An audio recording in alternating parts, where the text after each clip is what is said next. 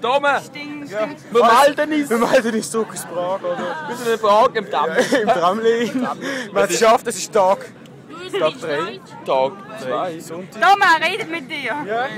Hey Jungs, Ja, wir haben reden so viel zusammen Ja, Ja, ja, ja, wir passt. so viel hoch. Ja. Seid ihr verfragt?